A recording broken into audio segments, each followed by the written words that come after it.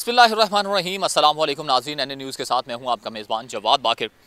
नाजीन अयाज सादिक ने एक स्टेटमेंट दी, जहाँ पर अयाज सादिक का उस स्टेटमेंट के बाद एक भौचाल सा पैदा हो गया। उस भौचाल के बाद, जहाँ पर उनसे कुछ वजाहतें भी तलब की गई, जिस पर माफ़ी का भी मुतालबा किया गया।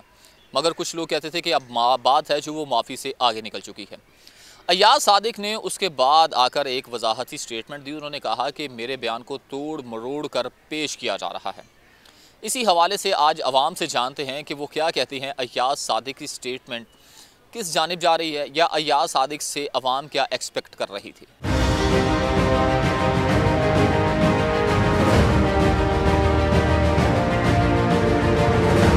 अयाज सादिक के बयान पे आप क्या कहते हैं?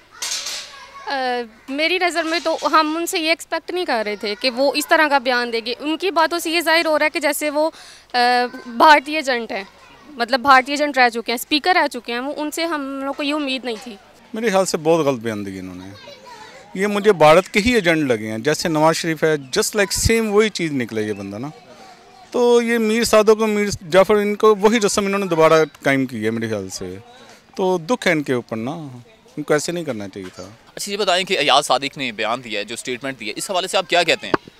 असल में ये जो मीर सादिक और मीर जो उनसे दूसरे हैं उन या फिर उनकी लाइन पे चल पड़ा इंडिया की लाइन्स बोलने लग पड़ा। तो इसको हम बड़ा अच्छा समझते थे पर ये तो नाकबिल बर्दाश्त नहीं कर रहा। दिन ब दिन दिन ब दिन अपनी असल बताई जा रहा असलियत के हाँ मैं ऐसा हूँ मैं इंडिया। ये चाहता है कि इंडिया की हुकूमत इधर आए इधर इंडिया चले सारा। अयाज सादिक की स्टेटमेंट को कैसे देखते हैं आप? ऑब्वियसली अयाज सादिक ने जो स्टेटमेंट दी है, वो एक्सेप्टेबल नहीं है। बिल्कुल भी उनको ऐसे नहीं कहना चाहिए था। से मुराद, अगर कोई और दे देता, कोई और पॉलिटिशियन जैसे शेख रशीद वगैरह, अगर वो दे देते तो उनसे फिर भी कहा जा सकता कि उनसे एक्सपेक्ट किया जा सकता है कुछ भी। लेकिन जो इन्होंने दिया है, इनसे एक्सपेक्ट नहीं किया जा सकता था। इसे आई थिंक पूरे कौम की रूह मजरूह हुई है।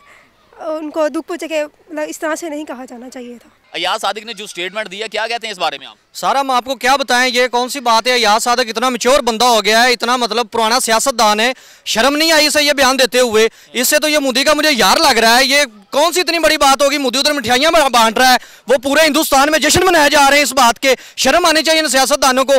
कौन सी जंग लड़े हम उनके साथ? पहले हमें अपने सियासतदानों के साथ जंग लड़नी पड़ रही है। कोई बात है इनकी करने वाली भला? इन्हें सोचना चाहिए जरा। हम यंगस्टर हैं, यंगस्टर का दौर है। ये इतने मिच्योर हो गए हैं। इन्हें थोड़ा सा अपना ख्याल करना चाहिए। अपनी सियासत के लिहाज करना चाहिए। ये कौन सी इतनी बड़ी सियासत हो गई है?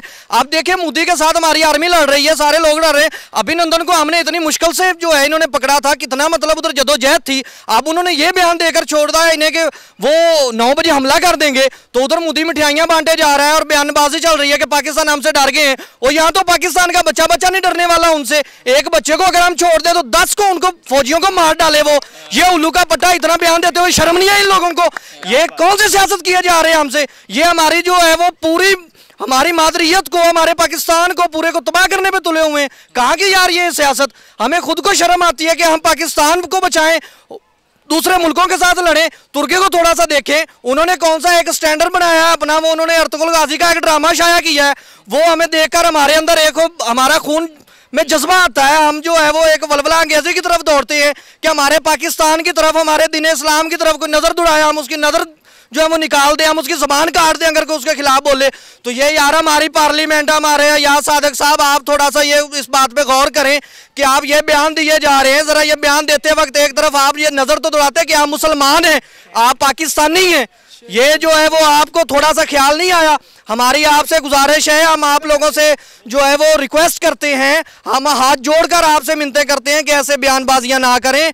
ऐसा जो है वो ना कहें कि जिससे हमें शर्मिंदगी होनी पड़ी या पाकिस्तानी अवाम को शर्मिंदगी करनी पड़े, आप मुल्क को बनाएँ। और उनके अंदर जो डर है, जो अब अगर हम वो नारा तकबीर का एक नारा लगाएँ पूरी कौम मिलकर तो हिंदुस्तान निस्तो नबूद हो जाए। आप कह रहे हैं कि हम जो है वो नौ बजे हमला कर देगा उसके डर की वजह से हमने ये बयान दे दिया तो सर मैं इतना ही कह जाऊँगा गद्दार है गद्दार है।